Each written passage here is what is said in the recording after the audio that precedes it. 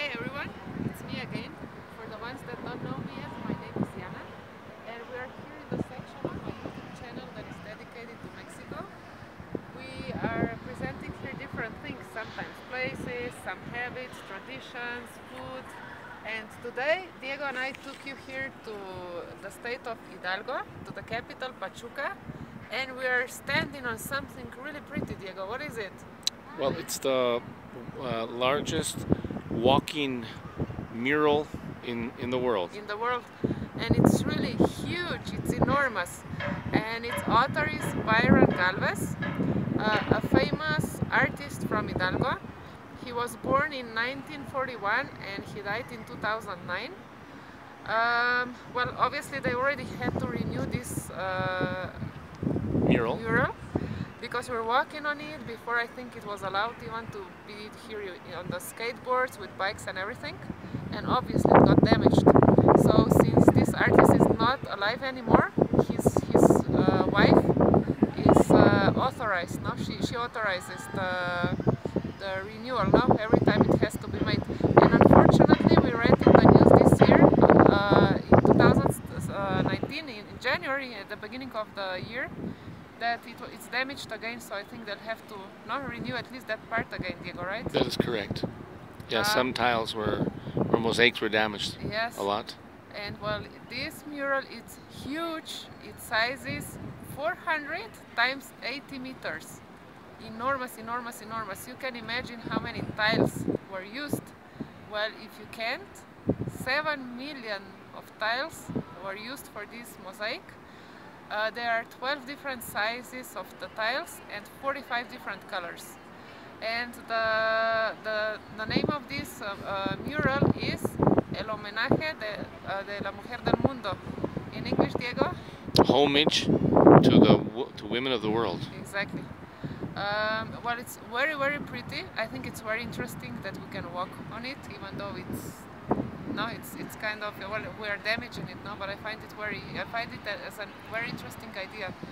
And obviously, because there are so it's made of so many pieces, it, it was a long uh, time to work on it. Uh, the author started working on it in 2001 and finished it in 2005. And well, he was a very su successful painter. He was studying art at university and never finished it but never mind, he was successful without diploma in his pocket. Uh, he always sold his paintings in advance. So in one occasion he really had hard time because he only had one week to make 45 paintings that he urgently need for his, needed for his exhibition. And he was also a sculptor, right, Diego? That's correct. We read in the article of the newspaper Milenio that he also built a mural in Los Angeles, but we didn't find any other information where exactly that would be, um, what's the name of the mural or anything. So in case any of, of you knows it, please let us know, please leave the comment below. And well, I feel that uh, in the state of Hidalgo, they're not taking advantage enough to promote this uh, amazing piece of art.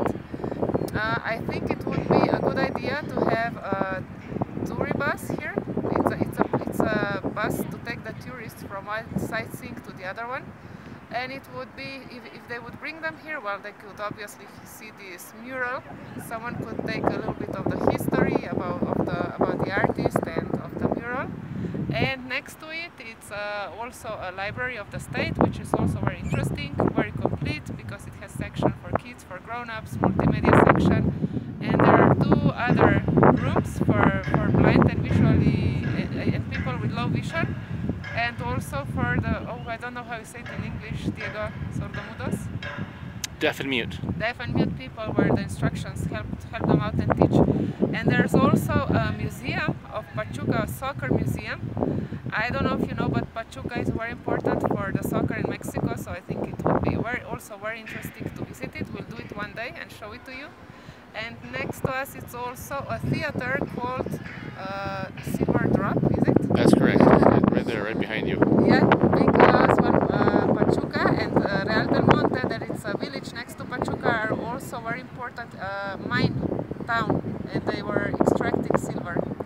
Uh, and right now, at this precise moment, th there's actually an exhibition, Diego. What is it? Uh, it's the Sistine Chapel.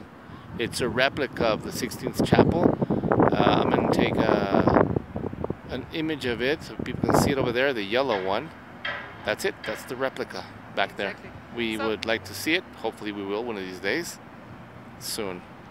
I hope if you have the opportunity to travel to Mexico that you will also come to Hidalgo one day and see this uh, mural with your own eyes.